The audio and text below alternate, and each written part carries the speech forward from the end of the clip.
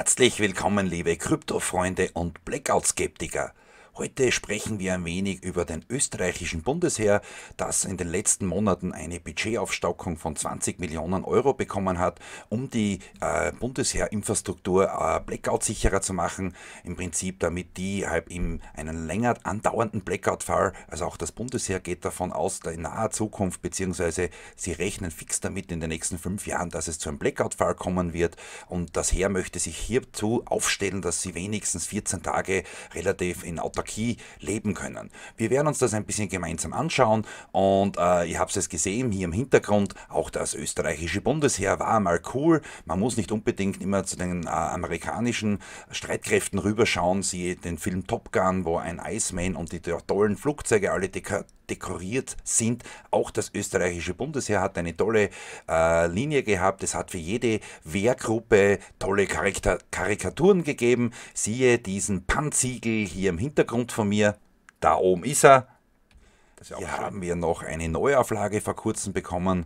Äh, dass der Bundesherr Igel hat jetzt quasi seinen 40. Geburtstag schon hinter sich. Okay, das ist auch schon sehr spannend, dass diese tollen äh, Karikaturen da schon wenig in die Jahre gekommen sind. Ich persönlich fand die äußerst cool. Da hat es auch teilweise so, so äh, Medaillen gegeben, die was man sich dann äh, quasi auf sein, seine Jacke oder auf sein Käppi raufgeben konnte. Und wenn wir da ein bisschen drüber schauen, also da waren die ganzen Waffengattungen sehr gut dargestellt.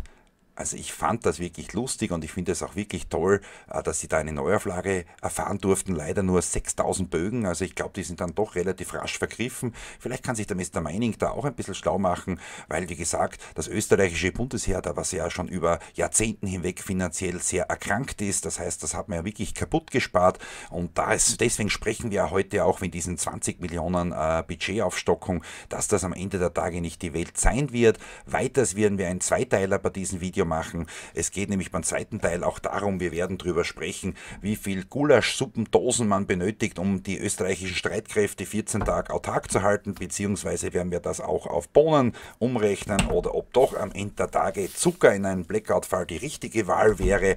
Und last but not least werden wir das auf Schokoladentafeln umrechnen. Ich habe hierzu einen lustigen Excel-Sheet vorbereitet. Ich zeige ihn euch schnell.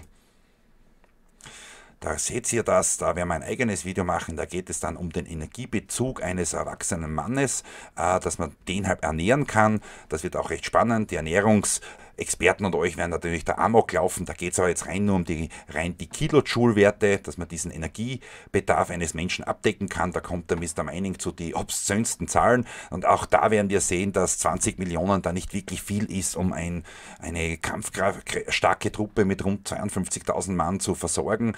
Und jetzt geht es schon langsam mal los. Symbolisch weil ich ja selber acht Monate als Jäger der, im Jägerbataillon 17 gedient habe und natürlich da auch gewisse, sage ich mal, das nachvollziehen konnte, wie, da, wie arm eigentlich unser österreichisches Bundesheer ist. Ich bin jetzt hier nicht da, einen Spendenaufruf zu starten. Ich bin auch nicht da, jetzt irgendwelche politische Kräfte zu kritisieren. Ich bin heute da, um euch zu zeigen, dass 20 Millionen am Ende der Tage nicht die Welt sind, dass das eher dann für eine Zeitung eine Headline ist, dass die Bevölkerung eh quasi eine Ruhe gibt. Das Blackout-Thema ist ja in den letzten Wochen und Monaten doch schon ein wenig verstört verstörend. Also wenn es jetzt auch den Medienberichten nachgeht, äh, dann werden man ja quasi demnächst haben, also so quasi so wie eine Plandemie, also man kann scheinbar auch einen Blackout planen. Nein, ganz so wird es hoffentlich nicht sein. Also ich glaube jetzt hier nicht an die bösen Verschwörungskräfte, aber mir geht es nur dazu, symbolisch die Menschen hier ein wenig äh, das, das aufzuzeigen, dass man mit 20 Millionen dann nicht wirklich einen Krieg gewinnen kann. Und deswegen als alter Veteran äh des österreichischen Bundesheers klebe ich mir da jetzt ein Trostpflaster auf, weil für mich sind jetzt symbolisch betrachtet diese 20 Millionen nichts anderes wie ein Trostpflaster. Gut, dass auch die deutschen Zuschauer etwas haben, äh, das werden wir jetzt auch kurz anschneiden. Äh, ihr draußen, eure Bundeswehr hat da eine meines Erachtens kluge Entscheidung getroffen. Sie schaffen um rund 600 Millionen Euro äh, Funkgeräte an. Also nur im Verhältnis. Wir in Österreich wollen jetzt gerade mal 20 Millionen ausgeben, um unsere äh, Infrastruktur im Militärbereich ein wenig äh, Blackout-sicherer zu machen. Und da werden in Deutschland alleine nur für alte Funkgeräte 600 Millionen ausgegeben. Klar, die Truppe ist ungefähr um den, um den Faktor 7 größer, aber dann wären das ja auch 140 Millionen im Fall auf Österreich umgerechnet. Aber wieso bringe ich euch das jetzt schnell mit den Funkgeräten? Die einen werden vielleicht sagen, sagen, um Gottes Willen, die kaufen dein altes Zeugs an. Äh, ganz so dumm sind die Herrschaften dann doch nicht bei der deutschen Bundeswehr. Warum? Weil im Krisenfall geht es dann doch darum, dass man eine sehr einfache Technologie inne hat, die was man auch weiß, die ist bewährt, die funktioniert und dementsprechend finde ich das jetzt nicht so schlimm, auch wenn vielleicht bei euch draußen medial der eine oder andere das ein bisschen lächerlich findet. Nein, wenn es um einen Blackout-Fall geht, dann ist Elektromobilität nicht der richtige Weg und da geht es ja auch zu dem Fall mit den ganzen äh, Einsatzfahrzeugen bei der Feuerwehr. Ich bin Elektrotechniker, natürlich die Elektromobilität, die hat, äh, die, die, die brauchen wir, damit wir auch mit diesem ganzen Umweltschutz ein wenig äh, auf die gleiche kommen. Aber noch einmal Einsatzkräfte, sprich egal ob es Polizei, Bundesheer, Feuerwehr und wie sie sind, da hat die Elektromobilität, sorry liebe Freunde, nichts zu tun, außer es sind irgendwelche Obrigkeiten, die was mit einer Limousine spazieren fahren, da macht das schon Sinn, aber sorry, irgendwelche Geländefahrzeuge oder LKWs oder die Feuerwehren bei uns haben jetzt schon elektrische Sprinter, die eine oder andere bekommen, nichts für ungut, das ist äh, für einen Katastrophenfall unbrauchbar. Denkt noch, liebe deutsche Kollegen, an das Hochwasser, was ihr da draußen gehabt habt. Da kann ein batterieelektrisches Fahrzeug, natürlich kann man eine Spezialausstattung machen, aber das hat da nichts verloren. Da ist halt die Beschaffung mit Kraftstoff in Flüssigkeit wesentlich einfacher, weil eben im Krisenfall auch die Stromversorgung ein Riesenproblem wird sein. Die Schweizer Kollegen da draußen, äh, für euch wird das wahrscheinlich heute alles ein wenig amüsant sein. Äh, bitte, wenn ihr Lust und Muse habt, schaut euch das Video an, damit ihr auch wisst, äh, wie es die ganzen anderen deutschsprachigen äh, Länder hier geht. Aber in Österreich sind wir leider, wir haben ein Bundesheer, was über Jahrzehnte hinweg kaputt gespart wurde und dementsprechend schauen wir uns jetzt mal diese 20 Millionen Investmentgeschichte an. Obwohl das österreichische Bundesheer keine neuen Geräte, sprich LKWs angeschafft hat, die was im Gelände im Prinzip brauchbar sind, weil die guten alten Steine Steirer Diesel und was da alles am Start war, Buch G und dergleichen, die haben sie ja alle im Prinzip ausgeschieden oder wären noch die letzten Gerätschaften ausgeschieden. Das heißt, unser Heer in Österreich war ja über Jahrzehnte hinweg äußerst mobil im Gelände unterwegs. Die hatten eben äh, die Buch G als normale Transporter, dann hatten sie die die Pinzgauer, also die, die sage ich mal, Offroad-Enthusiasten unter euch da draußen, die wissen es, ein Pinzgauer, da gibt es kein Gelände, wo der stecken bleibt. Dasselbe hat es natürlich für ein Buch G gegeben und dann hat ja auch das österreichische Bundesheer enorme Mengen an Steirer Diesel, äh, LKWs gehabt für Mannschaftstransport. Dann hat es natürlich auch äh, von MAN Cut diverse Fahrzeuge gegeben. Also im Prinzip, da war mal unser Herd in puncto Mobilität mörderisch aufgestellt. Und wenn Sie jetzt anschaut, die neueren Fahrzeuge natürlich, die schauen optisch sehr toll aus, zeitgemäß, aber aber wenn es darum geht, dass die im Gelände irgendwas verrichten können, da haben sie leider absolut die falsche Wahl bei der Investition getroffen und dementsprechend hat man eigentlich in puncto Mobilität in einer Alpenrepublik, so wie wir es halt sind und gerade in einem Katastrophenfall, wo man von Hochwasser und andere furchtbaren Sachen daherreden, äh, hat halt unser Heer und auch viele neue Fahrzeuge in den Einsatzkräften äh, eher eine Desentwicklung erleiden müssen. Also da bitte, liebe Bevölkerung draußen, schade, nur alles, was toll und neu ausschaut, heißt jetzt nicht immer, dass es dann im Einsatzfall auch wirklich die richtige Wahl ist. Hier sind wir gerade auf der Homepage von den österreichischen Bundesheer. Die muss ich sagen, also da von Webauftritt sind sie wirklich gut unterwegs. Also äh, obwohl da gewaltige Budgetschwächen bei unseren Heer sind, äh, das geben sie sich trotzdem Mühe. Und was ich sehr toll finde, äh, sie haben sich auch da die Mühe gemacht, damit man eine Checkliste hat, äh, was man so alles an Dosen und dergleichen brauchen könnte, damit mein Blackout-Fall ein wenig vorbereitet ist. Also hierzu muss ich sagen, haben sie das sehr toll gemacht. Ein sehr tolles Video. Äh, ich bin ja auch über diesen Video auf diesem Thema quasi draufgekommen. Und dann, wie ich mir das Video angeschaut habe, ich zeige es euch schnell. Ich kann das Video jetzt nicht vorführen, ich habe mir dazu keine Rechte eingeholt, deswegen ist auch die Audiospur äh, ausgeschalten, aber da im Prinzip sieht man so tolle Stromaggregate. Und nachdem ich ja solche Maschinen seinerzeit selber verkauft habe und auch betrieben habe für mobile Stromversorgungszwecke, äh, war mir gleich klar, um was da geht. Und gute Freunde, das Ding da auf dem Bild ist schon rund 20 Jahre alt, Gleich jetzt wie bei die Steirer Diesel heißt jetzt nicht, dass das Ding schlecht ist. Noch einmal, das wird ein wahrscheinlich 20, 30 kVA Stromaggregat sein. Das heißt, da mag man ziemlich toll ein, zwei Wohnhäuser damit versorgen in der Größe, sonst könnte es auch der Hubschrauber nicht transportieren, weil das Ding hat dann gleich einmal mit Diesel rund 1400 Liter Gewicht. Und da ist auch dann beim Hubschrauber mal die Transportkapazität am Limit. Äh, damit wird halt medial im Prinzip macht das Bundesheer aufmerksam, dass sie eh super vorbereitet sind. Ja, nur trotzdem mit diesen 20 Millionen, wir werden das jetzt schnell ein bisschen dann auch gemeinsam unterrechnen, können Sie keinen Krieg gewinnen. Äh, wenn Sie euch das jetzt anschaut, da ist ein neueres Gerät. Was sind das? Das sind ganz klassische Baumaschinen, Stromaggregate, also keine Spezialausstattung. Da ist der Hersteller Himohinsa. Das ist der Hersteller, äh, der wurde seinerzeit in Österreich über der Firma Trott Bautechnik äh, vertrieben. Trott Bautechnik, das war einmal ein Urgestein der österreichischen Baumaschinenvermietungsbranche. Die wurden aber leider von Bölls übernommen. Bölls ist für viele da draußen natürlich ein Begriff und die haben natürlich auch seinerzeit über Ausschreibungen das österreichische Bundesheer mit Hardware äh, versorgt und Himohissa, das ist im Prinzip einer wie, wie viele äh, Hersteller, der kommt aus Spanien. Da wird zwar das auf Madrid angezeigt, das ist sicher nicht richtig, das ist eher ein Verkaufsstore. Soweit ich weiß, ist Himohissa da eher auf der Seite von Portugal, von der Produktionsstätte und die grünen Stromaggregate, die werden wir dann auch bald besuchen, nämlich von Inmesol. Das ist da in der Nähe von Murcia, da war ich auch schon im Werk seinerzeit, wie ich noch aktiv in der Notstrombranche tätig war und die Firma Stromaggregate Grossmann bei uns regional ist da der Platzhirsch, was mit diesen zwei Herstellern sehr gut zusammenarbeitet und natürlich auch ein super Ansprechpartner ist. Nur, dass man ein Gefühl hat, wo diese Gerätschaften herkommen. Natürlich, das sind jetzt keine schlechten Produkte von Himoinsa und auch von äh, Inmesol und dann die Maschinen, was ich da verbaut gehabt habe seinerzeit, war äh, von Visa, Onis Visa, das war in der Nähe von Venedig, da war dort die Produktionsstätte, also ist heute noch, also nicht so weit weg von Österreich, ich bin ja hier in der Nähe zu Hause und jetzt zeige ich euch auch, warum der Mr. Mining da immer wieder gescheit daherreden kann und doch sich ein wenig als Notstromexperte sieht. Ich habe ja seinerzeit in Deutschland äh, Pflanzenöl-Blockheizkraftwerke betrieben, aufgebaut, unterrichtet, weil das natürlich ja zu meinem Notstromthema genauso dazugehört. Und hier seht ihr so eine Anlage, das war ein Projekt, wo wir seinerzeit eine Finanzierung bei einer Bank eingereicht haben.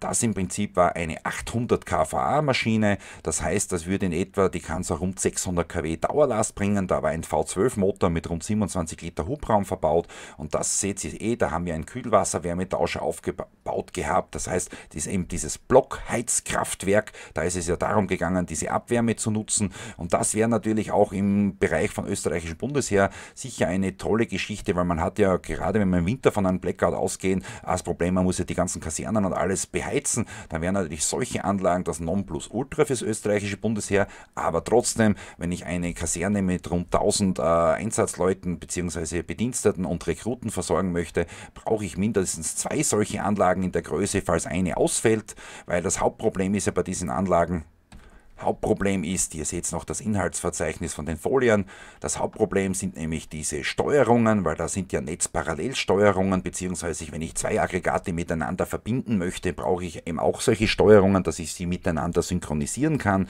damit die auch automatisch starten bei Lastausfall, beziehungsweise wie sie hier symbolisch angezeigt werden, die zwei Schalter, da war das halt der Netzleistungsschalter und da war das der Generatorleistungsschalter und hierzu gibt es sehr komplexe Steuerungen, auch sehr viele Anbieter, da ist Mr. Mr. Mining ist da ein wenig auch eine Koryphäe drauf. Und jetzt zeige ich euch so einen alten Controller, weil im Prinzip das war sein Produkt von ComUp, das ist ein tschechischer Hersteller und so eine, ein Unterteil von so einem Controller, das waren im Prinzip solche Steuergeräte, da im Prinzip ist eine SPS verbaut, das hat man hier auf diese DIN-Schienen montieren, montieren können. Und diesen Bildschirm, was du jetzt gerade siehst, der ist dann da via Datenkabel weggegangen, das war nur mal ein Bildschirm, das im Prinzip war die CPU, das Herzstück das Ganze hat natürlich ein Housing gehabt, das war dann so verbaut, wo die ganzen Klemmen beschrieben waren. Nur das Problem ist jetzt dieses, wenn so eine Steuerung einen Vogel hat, dann hast du ein riesen Stromaggregat wie da oben stehen und das liefert keinen Strom und das ist eben das Problem.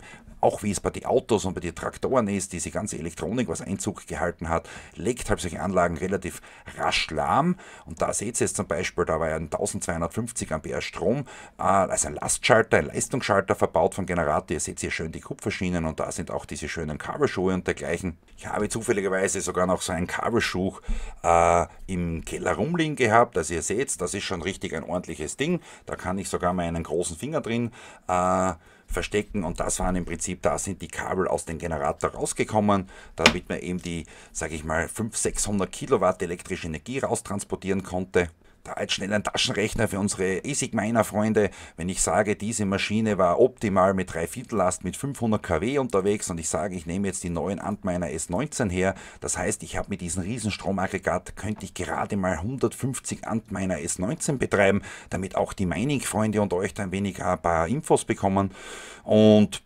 das war zum Beispiel dann diese beheizte Tankanlage, weil beim Pflanzenöl hatten wir ja das Problem, damit wir die ganzen Geschichten äh, im Tank drin, da sind diese zwei 30.000 Liter Tanks, damit uns das Palmöl nicht fest wurde, weil das Palmöl ist ja de facto wie Butter. Das ist, wenn es geliefert wird, ist das äh, feste Flüssigkeit, also wenn es auskühlt, eine feste Flüssigkeit. Dementsprechend hatten wir da diese Tanks heizen müssen. Das müsste natürlich das Bundesheer dann nicht machen, da reicht ein normaler Tank.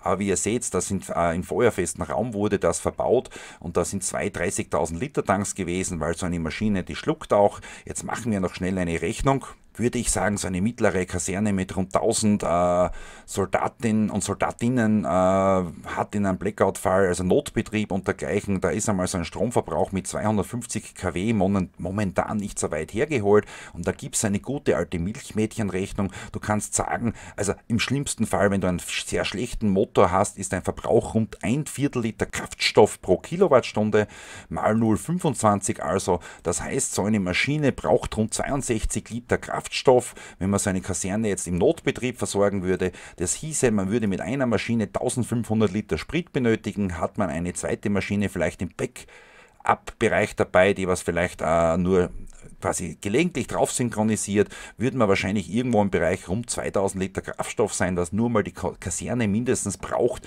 um ein wenig Autarkie äh, an den Tag zu legen, dass sie rund 1000 äh, Soldaten und Soldatinnen ein wenig versorgt. Gut, und da sieht man auch ein bisschen ein schöneres Foto. Da war im Prinzip dieser Wärmetauscher. Da leider habe ich jetzt keine Fotos bei der Hand von diesem Riesenmotor. Der Motor hatte rund, äh, ich glaube, drei Tonnen Gewicht und der Generator vorne, der hatte in etwa auch so zwei, zweieinhalb Tonnen Gewicht. Ne? Ähm, da war dann im Prinzip das Abgasrohr, wo im Prinzip die, äh, die Dieselabgase herausgeführt wurden. Da hatten wir einen äh, Abgaswärmetauscher verbaut. Dieses kleine Nockel da oben hat rund 24.000 Euro gekostet. Das war eine Sonderanfertigung, die wurde aus Schweden geliefert. Und da war im Prinzip für Sommer eine Bypassleitung, damit die Abgase im Sommer direkt rausfließen konnten. Da sieht man auch den Übergabewärmetauscher, wo die gesamte Wärmeenergie wir seinerzeit in ein Heiz Werk eingespeist hatten. Und im Freien draußen war das im Prinzip dann da die Ausblasöffnung für den Luftkanal und dann auch der, der Auspuff von der ganzen Geschichte. So in etwa könnte das dann auch ausschauen, wenn das österreichische Militär sich da ein wenig positionieren möchte. Ja, und jetzt kommen wir zu der ganzen Geschichte. Jetzt hat mir das als äh, Stromaggregate-Fachfirma, also wo wir im Prinzip sehr viel Eigenleistung gehabt haben, so eine Anlage rund 300.000 Euro gekostet. Und wenn sich jetzt das Bundesheer solche Anlagen leisten würden, würde, da sieht man auch von dem Video vom Bundesheer, äh, dass es sich hier um einen wirklich primitiven Schlüsselstartaggregat gehandelt hat. Das heißt, das hat man quasi angestartet und dann hat es schon quasi Strom gemacht. Und anhand der Ampermeter sieht man, dass da nicht wirklich viel Power zum Sinn war, weil im Prinzip der normale Amperebereich war bei 60 Ampere aus. Und dementsprechend glaube ich, dass da irgendwo das maximal eine 30 kVA Maschine war, weil die konnte in etwa so im 50 bis 60 Ampere Bereich mit Blindstrom liefern. Und ähm, jetzt schauen wir noch kurz weiter im Video. Und da kommt ja der Überkrux im Notstrom-Einspeisebereich, weil natürlich diese Stromaggregate haben eine FI-Schutzschaltung eingebaut. Das heißt, hier ist im Generator der Sternpunkt geerdet. Das heißt, der Nullleiter hat eine Verbindung mit Masse. Und äh, solche Maschinen jetzt für Einspeiseanwendungen zu verwenden in Gebäuden ist dann schon sehr, sehr tricky. Natürlich, es ist machbar, aber da muss man schon genau wissen, was man tut. Und ich weiß es von meiner Branche in den letzten zwei Jahren, welche Technik unterwegs war. Das ist sehr, sehr überschaubar, weil einfach das Ganze sehr komplex ist mit diesen Einspeiseszenarien. Da möchten wir auch auf unserem Kanal dann auch eigene Videos machen, aber da muss man sich Zeit nehmen, um das Ganze zu verstehen. Hier schaut das relativ cool aus, wie der, das dürfte sogar ein Goldkeksträger sein, das ist, glaube ich, ein, schon ein, ein, ein Offizier. Äh, da schaltet er halt diesen FI-Hauptschalter ein, aber nur das kann man dann quasi nur für mobile Stromanwendungen verwenden und mit Einspeisen ist da nicht mehr viel, viel am Start. Und jetzt, das war, ich habe den aktuellen kleinen Zeitungsartikel leider nicht mehr gefunden, weil es war ja bei uns in den Regionalzeitungen unterwegs. Äh, das ist halt jetzt, was auf die Schnelle ich gefunden habe unter express.at. Das österreichische Bundesheer rechnet mit einem Blackout in den kommenden fünf Jahren. Da geht es ein wenig rauf und runter und was halt die Experten, und es sind ja so viele Experten unterwegs, ich kann euch dann sagen, wenn ich aus Nähkästchen spreche, das ist dann alles sehr überschaubar, wie viele Experten wir da wirklich haben. Weil nur wenn ein Mensch hochgebildet ist, heißt das nicht, dass er jetzt da in solchen Fällen wirklich eine Übersicht hat, was man da für technische Anwendungen umsetzen muss. Ich habe da mal zwischendurch bei einem Fußballstadion gearbeitet, die haben auch via Strom, äh, Notstromversorgung als ein Teil der Grundbeleuchtungsanlage in den Stadien vollzogen. Also was wir da benannt gehabt haben im Zuge der Experten, natürlich, ich habe da äh, können, das war mein äh, Metier über zwei Jahrzehnte fast. Und hier geht es darum, dass, da steht es auch wieder, rund 20 Millionen Euro wird dann investiert in den Kasernen und 20 Millionen Euro, liebe Freunde, hört sich jetzt viel an, aber wenn ich jetzt sage, wir haben 20 Millionen, rechnen wir mal 5 Millionen für Planungskosten und dergleichen ab. Es ist einmal so, ohne den Planern geht ja nichts, weil sonst hätten wir nicht solche Szenarien draußen wie beim deutschen Flughafen Bern, dass er nach neun Jahren noch immer nicht funktioniert und quasi der halbe Flughafen zum Abreißen ist. Aber dann bleiben uns einmal 15 Millionen effektive Investitionen übrig. Diese Anlage, wie wir sie da seinerzeit gebaut haben, also so etwas mal zwei würde ich verwenden, um eine Kaserne ein wenig zu versorgen. Das hieße, also irgendwo, wenn man mit Backup arbeiten würde und das würde schon Sinn machen und das würde ich diesen Experten da draußen auch nahelegen, äh, dann brauche ich einmal rund 0,6 Millionen Euro nur für eine elektrische Infrastrukturversorgung. Das ist ein Minimumpreis, damit ich da eine Kaserne ein wenig äh, versorgen kann. Also eher, sage ich mal, im Bereich 800.000, eine Million bin ich da gut aufgestellt, um so eine Kaserne mit rund 1000 äh, Soldaten und Soldatinnen gut zu versorgen. Aber jetzt reden, äh, sprechen wir halt die Bausparer-Variante, wie sie in Österreich äh, unterwegs ist. Und wir haben in Österreich rund 52.000 Leute, also mit Milizleute und, und, und. Und das heißt ja, da sind ja auch Zivilbeamte dabei und auch äh, Zivilfirmen, die was das Heer herumherum unterstützen müssen. Wenn ich jetzt sage, ich rechne das Ganze mal 52, weil ich sage ja 1000 Personen pro äh, Kaserne und, und, und. Da sehen wir, da brauchen wir mal mindestens nur für die elektrische Energieversorgung 31,2 Millionen. Äh, und da hat noch keiner von Heizung und von Funkkommunikation und und und gesprochen. Äh, natürlich, man kann das immer nach oben und unten drehen und wenden, aber 20 Millionen ist wirklich ein wenig, wie ich das symbolisch gezeigt habe, ein Trostpflaster, damit die Bevölkerung da draußen glücklich ist. Und da sieht man es dann auch wieder, da sieht man es dann wieder, wir in Österreich, da ist der Idealismus auch im Punkto äh, des Bundesheers sehr groß, weil wir hatten ja auch seinerzeit wunderschöne Jagdflugzeuge, unseren Drachen. Ähm, da zum Beispiel hat man das ja für den 1000 Jahr äh, Jubiläum des Namen Österreichs, hat man da einen Drachen sehr schön um gefärbelt oder lackiert oder beklebt, wie auch immer. Da war das Osterrichi, das war im Prinzip eine sehr schöne Maschine. Äh, da sieht man es einfach, mit was für ein Enthusiasmus man hier in Österreich immer wieder vorangeht, wie bei diesen Drachen das der Fall war, weil wir hatten da nicht wirklich viel einsatzfähige Flugzeuge ähm, am Start. Aber was schade ist, die wenigsten haben es gewusst, der Draken war eigentlich kein schlechtes Flugzeug und dass man sich da diese sogenannten Teurer-Fighter geleistet hat, wo es dann auch diese ganzen Betrugsgeschichten gegeben hat und und und. Natürlich ist ja nie einer verurteilt geworden und wie es aber in Österreich üblich war, ich weiß nicht, ob die, die Menschen das vernommen haben, aber wir hatten da sehr lange Flugzeuge, die aber de facto nicht einmal einsatzfähig waren, beziehungsweise die, die, die Software-Updates haben gefehlt oder da war, ist quasi nur das halbe, das Fahrzeug quasi ohne Lenkrad gekauft geworden und sehr viel Korruptionsfälle, wie es in Österreich immer in der Politik üblich ist. Dementsprechend muss man dann schon ein wenig den Hut ziehen von, von den Menschen, die was bei uns im Heer mitwirken nur Kritik walten zu lassen, dass dieses Bundesheer kein Mensch braucht und dergleichen, das finde ich ein wenig fahrlässig. Äh, ich bin kein Berufssoldat, ich habe meine acht Monate Grundwehrdienst im Jahr 99 abgelegt. Äh, ich persönlich kann aus der menschlichen Komponente es nur empfehlen, dass es einen Grundwehrdienst gibt, beziehungsweise halt die zivile Variante mit dem Zivildienst. Also der Zivildienst ist ja auch eine sehr große Stütze und bei diesen ganzen 20 Millionen hat ja keiner gesprochen. Auch der Zivildienst hat ja Problem. Die ganzen Rettungen, die sind ja auch alle ur, schlecht versorgt, nur im Bereich der Stromversorgungen äh, und bei der Nahrungsmittelversorgung, da kommt jetzt dann gleich das nächste Video, damit das Video nicht extrem lang wird. Äh, und übrigens, sorry, wenn denn, äh, warum ich drei Gründe wollte ich ja letztens nennen, warum Bitcoin eine Million Dollar wert wird. Da gibt es dann ein eigenes Video, weil das eine Video ist viel zu lange geworden. Ich habe das nicht vergessen, aber das ist immer schwierig in der Kürze mit der Würze. Aber ich würde sagen, äh, Militärdienst ist nicht schlecht. Natürlich, man lernt super Schuhe putzen. Viele Menschen belächeln das. Ähm, es geht beim Bundesheer, glaube ich, nicht nur um Schuhe putzen. Das Bundesheer, da lernt man, lernt man auch den Bettenbau. Man lernt auch ein wenig das Pfadfinderleben, wenn man das Glück hatte, so wie ich. Ich war bei einer Jägerkompanie. Äh, und natürlich würde ich auch hier auf Gleichberechtigung setzen, weil wenn die Damen der Schöpfung so auf Gleichberechtigung pochen, dann würde ich auch eine Wehrpflicht für Frauen einführen. Dann könnten wir auch die Frauen alternativ, wenn sie sich nicht für den Wehrdienst melden möchten, äh, für den Zivildienst einsetzen. Weil da sage ich mal, wenn wir Gleichberechtigung wollen, dann sollte auch das dort vollzogen werden.